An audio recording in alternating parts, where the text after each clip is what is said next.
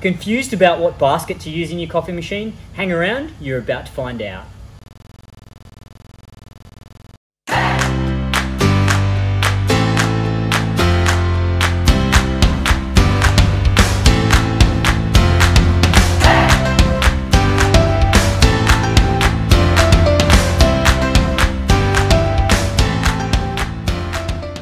Today I'm going to be talking you through different handles, baskets, the different styles of types, what they're used for, and something that I try and avoid on YouTube too much.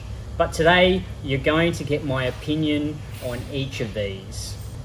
So the first thing that I want to want to talk about is different sizes. Now this is for baskets and also handles. Uh, different machines can be specific although there is industry standards, let's say, most baskets are going to be 58 mil diameter uh, and fit into a handle that looks a little bit like this. So this is a La handle, um, but it is designed for an E61. La has brought out a few new different standards, if you will. Uh, Breville has their own standard.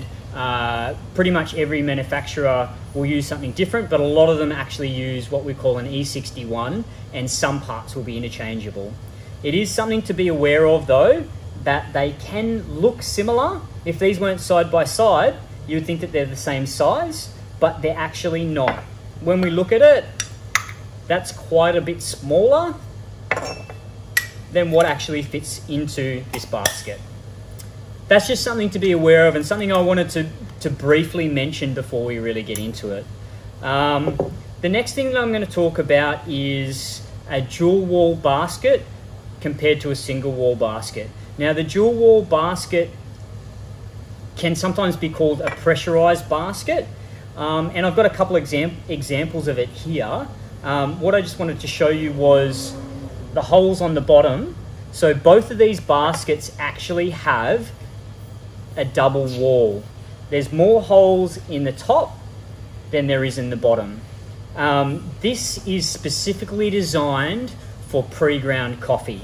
Normally in a standard single wall basket, holes in the top run straight through to the bottom. In a double wall basket, we're using the hole differential and there's actually, although it looks like there's lots of holes in the bottom, there's actually only a single hole in the bottom that is what is controlling the water as it flows through the basket. So the grind size isn't actually going to control your flow through your extraction as much as the double wall basket. Um, when you get these, they really only work with old, stale pre-ground coffee. I don't recommend that anybody use these. You are not going to get a great specialty, amazing tasting coffee ever with pre-ground stale coffee, in my opinion. Uh, we did some trials here in the espresso bar and did a few things that you probably shouldn't do uh, and actually put our dual wall basket in a naked handle so we could actually see what was happening. So we'll, we'll run a bit of that footage for you now and as you can see it's a very very messy process. One of the things that I will say about them is the single hole does actually aerate the extraction as that's coming through and creates the illusion of crema. So sometimes with some old uh, supermarket bought stale coffee, uh, it will look like a better extraction through a, a double wall basket. Um, and if you can't change the grind size or anything like that, then you might want to use a dual wall basket. But as I said before, we're basically going to uh, throw those in the bin and get rid of them. Um, not something that we would recommend using, uh, even in your home machine, we recommend that you get a grinder, uh, buy some nice fresh uh, roasted coffee off a local roaster, and uh, be able to control your extraction through the grind size. You're going to get a far better result. Um, the next thing I want to talk about, and I'm going to be sort of jumping in between the two because they're not the same thing, but they do kind of, I don't know, there's a lot of crossover with them, is the different uh, handles that you can get that you're fitting your baskets into. Uh, in the same way that we have our double wall basket, you can actually get handles which in the same way will be a pressurized handle and that will control the flow of water through the coffee rather than your grind size. Um, be aware of this if you're buying a lower end machine um, from, again, one of your supermarkets. There's a famous German company out there that sells them. Um, have a look and see whether you have a pressurized handle or not. Um, a non pressurized handle uh, will always have a large hole and allow that coffee to flow through very quickly. A pressurized one, I don't actually have one here to demonstrate, but it'll it, again it'll have a very very small hole in the bottom of it um, to control the flow of water through it. Um, I suppose that's a really big consideration when you're buying a coffee machine is probably knowing that before you go into the shops to try and buy one um, and have a bit of a look. As I said, you're probably not going to be able to I suppose, control your extractions as well when you have a, a handle that is uh, a pressurized handle. Now, beyond that, when we move into our non-pressurized handles, there's three main types that I'm going to go with you now. There's our single spout, our double spout, and also our naked. Now, back to the single and double spout. In most coffee machines, the handle themselves are pretty much identical except for the spouts on the bottom. All those spouts are doing is directing the coffee into a cup. If you are going into one cup, you've got a couple of different options. You can just use your single spout, which will direct the coffee into one cup very nicely and neatly.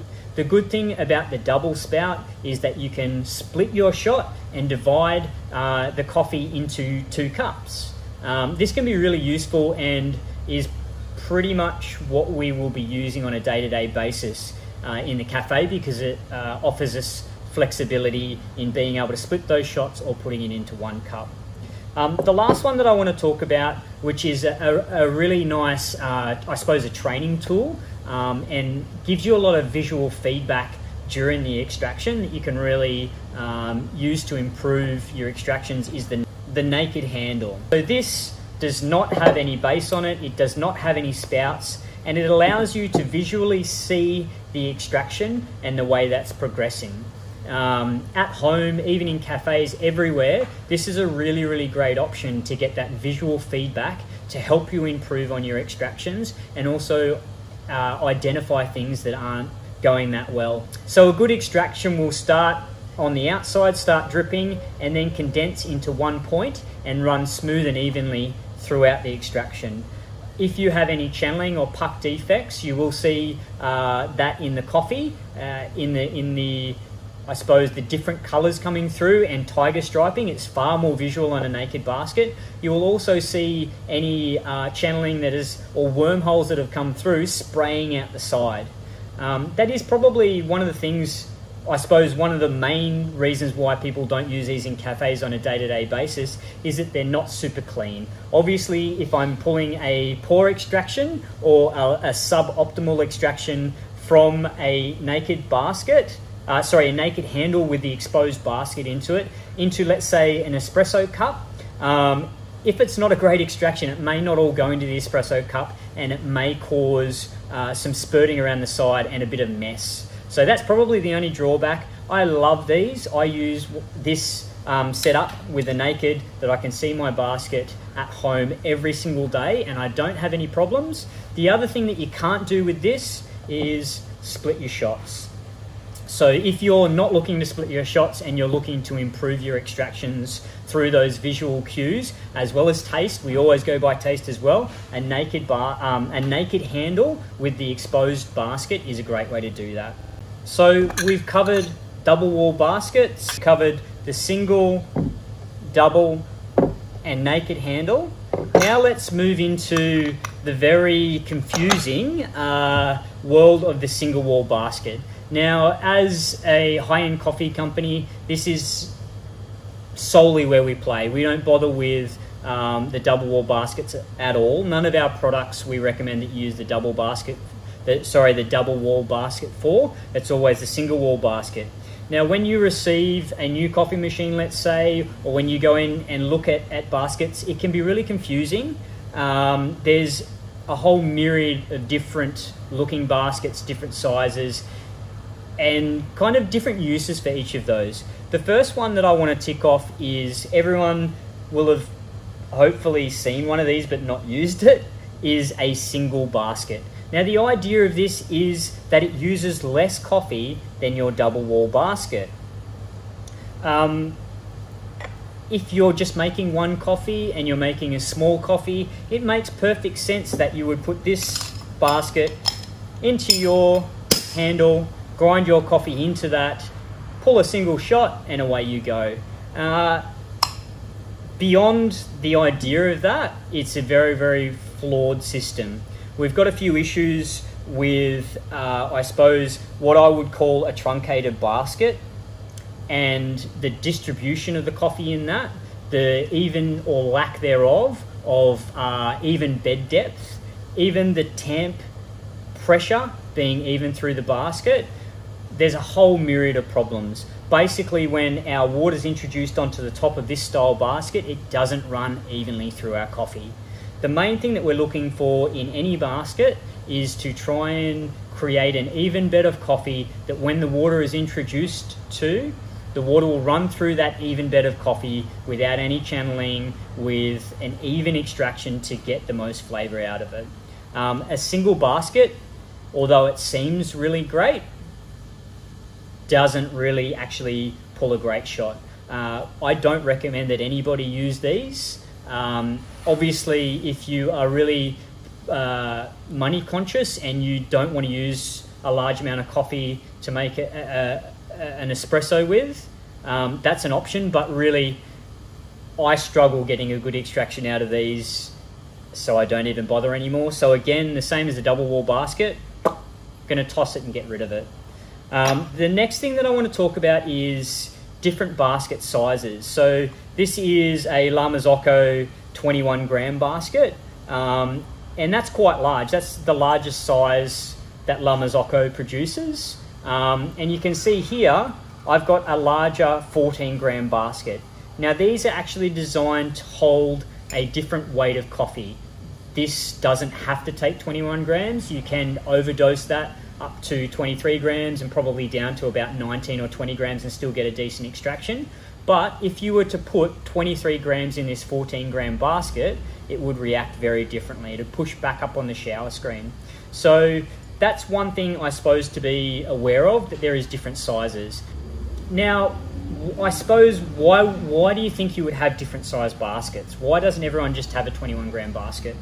It all comes back to the end result that you're looking for. Um, if I'm using a, a small cup with milk, let's say, and I, I don't want I want to use my naked handle, so I'm not able to split that shot. Um, a 14 gram basket might be sort of the, the, the strength that I'm looking for in my end cup. Um, if I'm in a cafe and I'm looking for fast paced service and I'm splitting shots in half, uh, obviously the larger basket gives us more capacity to make coffee quicker um, by grinding, tamping, and extracting one basket and getting two coffees out of it. It's just something to be aware of. Uh, there seems to be a lot of stuff out on the internet and YouTube at the moment about recipes and, and brew ratios and everything like that. A big factor that I suppose needs to be specified for any one of those is definitely the basket size that you're using. If I gave you a recipe of 22.5 grams uh, in or dose, uh, 45 grams out in 34 seconds with a 14 gram basket, it doesn't matter what you do with your grind particle size, you will not be able to achieve the goal extraction. Um, and if you did, it wouldn't taste very good. So it's just one thing to be aware that there's lots of different size baskets. The other thing I want to talk about is the slight, um, I suppose, differences in the walls of the baskets. So here we've got a straight wall basket, and this one again is what I would call a truncated basket. Um, so you can see it actually starts to come in a little bit uh, smaller at the bottom, and it has less surface area for that coffee at the bottom of the basket. Um, I don't recommend using these. There is a little bit of opinion out there that a slightly truncated basket will achieve a better extraction. In my experience, from what I've found, um, that doesn't seem to be the case. Again, when we talk about pressure differentials with uh, the bed of coffee, um, and also as the water flows, that channeling that you're going to get off the side walls, similar to a single basket, you get that a lot more with a truncated double basket as well. So, in my opinion, double truncated basket you want to throw away. Just a quick side note on that depending on the manufacturer of the handle, some of them will not take a large uh, straight wall basket. The handles just aren't big enough. You would have to buy a different handle for that to fit into, and they will only fit a truncated double wall basket. Um, the last thing that I want to cover, and this is probably just a little bit of information for everybody. A lot of people may buy a coffee machine or, uh, you know, come across a few extra bits in the box of their coffee machine and not know what that is. So, this is what we call a blind basket, and it is not for making coffee. This is specifically for back flushing your machine. So that's just a little side note. If you find one of those and you don't know what it is, there's no holes in the bottom. That is a blind basket and it is for cleaning your machine. If you don't know how to clean your machine or how to back flush your machine, we've got videos uh, on that and I'll leave a link in the description below. Um, but other than that, I think I've covered most things about baskets. If you have any questions or would like more information, if you want to tell us how great this video is, and um, maybe tell me what you want to hear about, put a comment down below. Make sure you like this um, video, subscribe to our channel, and hit the bell icon so you get updated every time we release a new video. Thanks for joining us, and we'll see you again next time.